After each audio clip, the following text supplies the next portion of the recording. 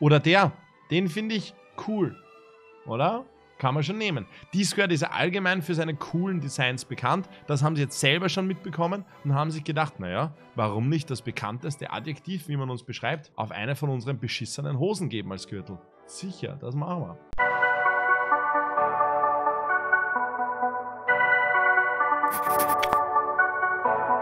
Der Leute, was geht ab? Maximilian am Start und ich begrüße euch zu einem neuen Video auf meinem Kanal.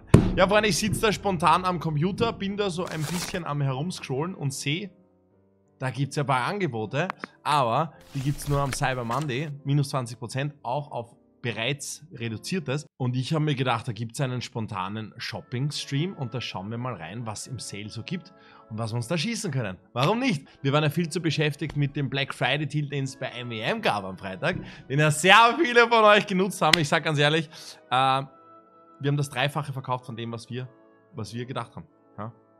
Nicht mehr normal. Also vielen, vielen lieben Dank für alle, die dabei waren. Chat ist am Start. Ich bin am Start. Eigentlich hält uns nichts mehr auf. Wir können loslegen. Ihr wisst ja, Leute, wir haben, äh, ich glaube, noch 900 oder 1000 Euro über. Die sollten wir verballern, weil, ganz ehrlich, in letzter Zeit haben wir schon so oft gesagt, wir machen einen Shopping-Stream, aber irgendwie hatte ich keinen Bock und ich, es gab auch nichts, auf das ich Lust hatte. Und jetzt habe ich vorher ein bisschen herumgestöbert und ich habe mir gedacht, naja, gibt doch ein paar Sachen. Zum Beispiel, also ich bin jetzt da direkt mal beim Sale drin. Ich schaue mal bei den Accessoires für 900 Euro einen Schal. Das hat einen Sinn. Na, ich weiß nicht. Den Schal habe ich ja jetzt nur, weil ich ein bisschen angeschlagen bin. Männergrippe. Also für alle, die sich wundern, ja, Männergrippe. Deswegen. Ja, schau, da kommt schon die erste Träne. Deswegen der Schal. Schaut furchtbar aus, ich weiß. Aber das ist der einzige, den ich noch so habe. Den anderen hat meine Putzfrau einfach heute weggeworfen. Ich habe ihn nur kurz auf den Mistkübel gelegt.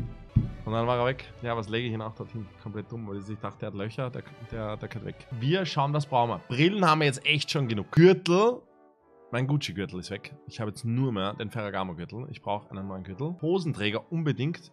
Jetzt, äh, wo ich wieder so krass abgenommen habe, nach meinen drei Tagen krank sein, rutschen meine Hosen immer so stark, brauche ich Hosenträger. Kulturbeutel auf jeden Fall. Ich habe sicher jetzt schon seit sechs Jahren denselben ekelhaften Kulturbeutel, wo alles schon aus, da drin ausgeronnen ist. Also Rasierschaum, Zahnpasta, Duschgel, Kondome, ja, die können aufreißen. Alles. Also ziemlich ekelhaft. Da kann was Neues her. Okay, so. Zurück zum Thema. Ja, ich liebäugle mit diesen Elix-Gürteln. Was ist denn das? Ja, okay. Wahrscheinlich, oder? So ein Plastikblättchen. Ja, genau. Oder der. Den finde ich cool. Oder? Kann man schon nehmen. Discord ist ja allgemein für seine coolen Designs bekannt. Das haben sie jetzt selber schon mitbekommen und haben sich gedacht, naja, warum nicht das bekannteste Adjektiv, wie man uns beschreibt, auf eine von unseren beschissenen Hosen geben als Gürtel. Sicher, das machen wir. Hauptsache, ich habe die Discord Boys erst vor kurzem in Mykonos am Strand gesehen war so, hallo, grüße euch. Ich bin so ein schlechter Mensch. Oh mein Gott. Okay, da, da haben wir diesen klassischen Rollercoaster-Gürtel. Auf den gibt es aber nicht noch einmal 20%, sehe ich da schon. Aber der wäre eigentlich ganz nice. Der ist schon ganz cool, gell? Chat sagt auch. Aber da unten hm, Gibt es den in ganz schwarz? Finde ich auch nicht schlecht. Ja. Und was sagt ihr zu Silber? Ich weiß nicht, ob Silber mir nicht schon ein bisschen zu aufdringlich ist. Auch mit der Schnalle, diesmal schon fast ein bisschen... Na, das ist mir, glaube ich, ein bisschen too much. Da finde ich den da besser. Den oder den. Wie wäre es mit Philipp Plein? Auch eine super Idee top. Kann ich mir gut vorstellen. Da fehlt mir aber, da ist mir zu wenig Totenkopf dabei. Off-White hat jetzt anscheinend Sale. Machen nochmal einen Rausverkauf. Ich frage mich echt, wer das jetzt übernimmt.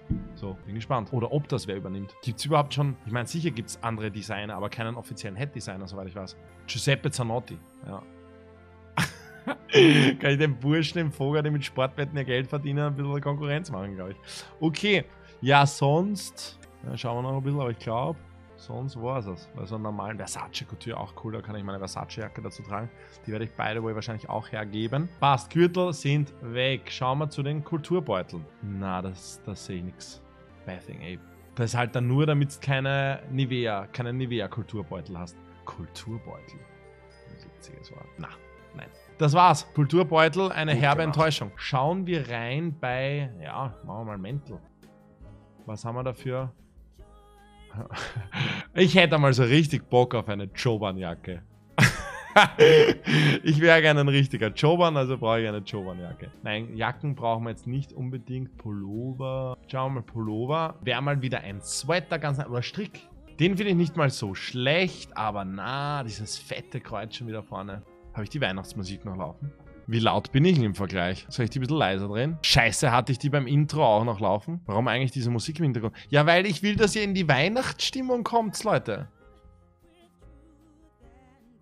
Was ist da los? Was haben wir da? Palm Angels? Ja, taugt man nicht. Ami Paris, den haben wir ja wieder zurückgeschickt, der hat uns nicht gepasst. Oh, mit so Cremefarben, ja, aber I don't know. Da finde ich den noch ein bisschen cooler, aber da könnte man ein bisschen was von Mani nachkaufen. Musik ist 10 von 10, freut mich, Freunde. Der ist nicht einmal schlecht, oder? Was sagt's zu dem? Den finde ich not bad. So ein bisschen Klexi-mäßig und nicht dieses klassische Off-White-Symbol. Finde ich eigentlich ganz cool. Würde ich in L nehmen. 695. Kriege ich da nochmal 20% drauf? Erinnert mich an Milch mit Schoko. Extra 20% kriegt man dann drauf. Geht schon. Sterndal.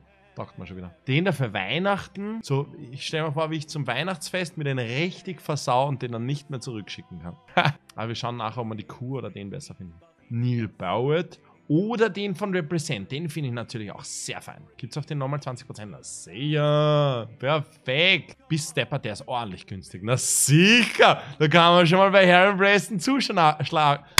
Damit ich das rausbringe. Ich bin gerade so aufgeregt, weil ich den so günstig bekommen könnte. Cool. Ja, den nehmen wir nicht. 1702 Euro. Vorsehen auf. Weil da so Fäden dranhängen. Aber der ist schon cool. Mit den Fäden und mit dem Kreuz, was mal anders ist, schon gar nicht mal so schlecht. Wir haben 900 Euro und die müssen weise eingesetzt werden. Mhm. Was sagst du zu dem da? Den finde ich eigentlich ganz cool. Den finde ich eigentlich ziemlich, ziemlich nice sogar. Crazy. Gibt es noch in L? Krass. Den finde ich sehr, sehr nice. Mit Sterndal markieren. Den finde ich cool. Ich weiß, Chat wird eskalieren und sagen, oh, auf keinen Fall, furchtbar. Ich finde den nice. Besser als die Off-White-Pullover bis jetzt. Lass es. Je mehr ihr protestiert, desto, sehr, desto mehr will ich ihn wahrscheinlich. Der ist auch irgendwie cool. Der ist irgendwie nice. Leben wir. Chat, was sagt sie zu dem? Ja, äh, nicht alles, nicht immer so langweilige Sachen, auch mal irgendwie was Cooles. Wir reden, ich bin ein Vierjähriger. Gibt's auch noch in L? Ja, komm, Stern markieren. Okay, let's go. Den habe ich. Warum ziehe ich den nicht an? Ich habe eh, jedes Mal denke ich mir das. Weil ich halt nie, in letzter Zeit, gerade mit Lockdown und so, das einzige Mal, wenn ich rausgehe, dann ziehe ich mal halt schnell irgendwas an, was Schwarzes meistens und oft die gleichen Sachen. Weil wenn du halt keinen Anlass hast, ist halt Kacke. Und wenn ich dann in den Club gehe, dann will ich auch nicht irgendwas anziehen, was kaputt werden könnte. Zehnmal das gleiche. Club im Lockdown, natürlich. Also natürlich nicht. Den Lockdown-Club, dort kommst du nur rein, wenn du Corona hast weil wir machen dort die Giga-Super-Spreader-Partys. Einfach eigentlich gar nicht lustig, was ich da sage. Ich nehme alles wieder zurück. So, aber du kommst nur rein, wenn du deine Rolex drin verlierst. Wie ich einfach weitermache. Zuerst sag, oh, ist der cool oder ist der cool? Wow, der ist schon. Ja, zeigst den her auch, oder? Vor allem mit dieser cremeweißen Hose. Ich brauche eine cremeweiße Jeans. Der ist crazy. Frage ist halt, ob der wieder so einen großen Kragen hat. Aber schaut gar nicht so schlimm aus. Ja, da gibt es auch nur 10% drauf, aber gibt es dann nochmal die 20%? Extra 20%. Ich markiere den mal mit Stern. Aber 763 schon wieder Preis. Und Shirts, vielleicht noch ein weißes. Weiße Shirts habe ich schon fast keine mehr. Offert spricht mich einfach nicht mehr so an. Balenciaga natürlich, da bin ich natürlich wieder angesprochen. Ne? Ganz klar, da weiß nicht. Sobald ich irgendwo Balenciaga oder Vetmal ist, bin ich einfach fixiert. Okay, da gibt es 30%. Aber den Schnitt packe ich gar nicht. Ich werde meine, gibt es hier nochmal XS? Ich werde meine zwei äh, Balenciaga-Shirts, die ich mir vor kurzem gekauft habe, zumindest eins davon hergeben. Weil der Schnitt einfach so kacke ist, das ist einfach viel zu oversized. Ich meine natürlich, der Schnitt ist genial. Wenn ich wieder einen Flohmarkt mache, kauft es. Nein, Spaß. Aber ich packe den Schnitt einfach nicht. Bei mir schaut das nicht gut aus. Ich werde mir sowieso noch von MEM äh, ein paar weiße Shirts machen lassen. Und auch welche mit 3D-Pressung. Also ein clean weißes Shirt oder cremeweißes Shirt im normalen MEM-Schnitt, aber mit der 3D-Pressung, die wir kennen vom Black Friday Hoodie. Das ist irgendwie cool, oder? Baklava? Nice. Das finde ich nicht mal so schlecht. Was sagt ihr zu dem? Größe L. Kostet 46 Euro.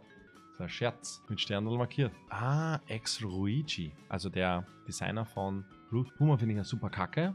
Aber Root finde ich cool. Beziehungsweise Ruigi. Ja, nee, nein. Sorry, ist trotzdem ein Puma-Shirt. Philipp Plein, oder? Da haben wir eh schon minus 50%. Das hätte ja mal 800 Euro gekostet. A Bathing Ape auf schlicht. Nein, muss nicht. Das ist einfach für mich so eine Kindermarke. Fühle ich gar nicht, der Bathing Ape. Da stelle ich mir einfach diese 13-jährigen Hypebeast davor. Das können noch so viele Rapper anziehen. Das wird für mich immer diese Konnotation mit so kleinen Hypebeastern haben. Das finde ich nicht mal so schlecht von Marcelo Boulon. Das wäre so das erste Ding. Gibt es auch nochmal minus 20% drauf. Das finde ich tatsächlich cool und ich trage eigentlich nie Langarm-Shirts. Ich hau das jetzt mal rein mit Stern. Ihr Chat fühlt es gar nicht. Aha, was macht GmbH da? Nein. Sie wollen zwar weg von diesem Klischee der Berliner Clubszene, aber mit dem werden sie es halt nicht wirklich schaffen. Das ist halt eins zu eins Bergheim. Das ist halt eins zu eins Bergheim, oder nicht? Das finde ich ganz nice so. Das ist eigentlich nicht schlecht. Gehen wir mal einen Stern drauf. Wir haben eh schon wieder so viele Sachen mit Sternen. Brauchst du noch Hemden? Ja, eigentlich schon, gell? Eigentlich hast recht. Saint Laurent, ja, das finde ich eigentlich gar nicht schlecht, oder? Kann ich mir halt mehr für den Sommer vorstellen. Auch wie er es trägt, so offen, finde ich cool. Keine extra 20%, warum nicht? Schade, das hätte ich cool gefunden. Oder? Das ist cool. Geil. Auf der Seite ein kurzer Arm und auf der anderen Seite ein, ein langer Arm. Auch das finde ich sehr nice. Saint Laurent Hemden, top. Also das müssen wir uns merken. Das ist auch sehr schön. Das gefällt mir. Das finde ich cool. Gibt es das noch? Gibt es auch noch in meiner Größe. Was sagt ihr zu dem? Gibt es auch nochmal 20% drauf, wahrscheinlich. Wir haben eh viel zu viel. Wir müssen sau viel rausgeben. Wir, können nur, wir haben nur 900 Euro. Gut, das war's eh. Jetzt wird's Zeit, Freunde. Puh.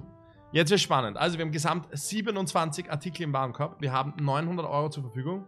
Black Friday wird nochmal mit 20% draufschlagen. Also ja, jetzt geht's ans Aussortieren. Das wird jetzt die schwierigste Frage. So, fangen wir unten an. Elix Gürtel, haben wir den drin? 216 Euro. Wir kriegen dann nochmal 20% Rabatt. Das müssen wir auch bedenken. Elix Gürtel, ja, lassen wir mal für, fürs Erste drin. Dann gehen wir mal weg. Den von den Sweatern her. Boah, da haben wir ja ganz schön viele. Den will ich nicht. Der ist auch irgendwie nice, aber ich glaube, den werde ich dann nicht so oft tragen. Ja, das Marcella, Marcella Bolland Langshirt sehe ich jetzt selber. Taugt man doch nicht. Represent, viel zu teuer hier. Safe. Aber der ist schon clean, aber ja, für Represent-Verhältnisse könnte er nochmal ein bisschen günstiger sein, kommen nochmal 20% raus. Aber jetzt kein Schnäppchen, sehe ich ein. Also weg. Aber der wäre auch ganz nice gewesen. So, auf Grau könnte ich mir auch schon ganz gut vorstellen. Der MS, nein, den gebe ich nicht weg. Den will ich haben fürs erste Mal. Also da würde ich eher noch den Off-White weggeben als den. Den finde ich cool. Balenciaga gehen wir weg. Schade, wäre auch cool gewesen. Das fühle ich auch nicht so irgendwie. Ich meine, ich weiß, ich brauche weiße Shirts, aber geh mal, da gefällt mir das noch am besten. Und jetzt sind wir gesamt bei, ja, eh viel zu viel. Lavin raus. Ja, okay. Trotzdem, da ist was zu viel. Off-White oder Root? Das ist die Frage. Das ist echt die Frage. Kannst wirklich nicht sagen. Nein, es gibt keine Diskussion zu diesem Pullover. Ich will den haben. Ich meine, ich könnte das Mani. Wir müssen dann sowieso nochmal schauen. Off-White raus. Ich glaube, dass der Fit vom Root besser ist. Boah, da ist der Fit zwar auf jeden Fall beim Root besser. Zack. Okay, dann kommt er auch weit weg. Dann haben wir jetzt 216. Jetzt sind wir immer noch. Brauche ich das Mani-Hemd? Nicht wirklich, oder? Dann nehmen wir das Mani-Hemd noch raus. Das hat mir doch letztens eh nicht gepasst vom Schnitt her. Da habe ich so breit ausgeschaut. Ja, dann nehme ich das Mani-Hemd noch raus. Also der Plan war, mit meinen 907 Euro Guthaben zu shoppen. Und jetzt haben wir aber 907 Euro einfach so ausgeben. Perfekt. Gut. Hat top funktioniert. Ich kümmere mich da morgen drum. Bin fertig. Habe fertig.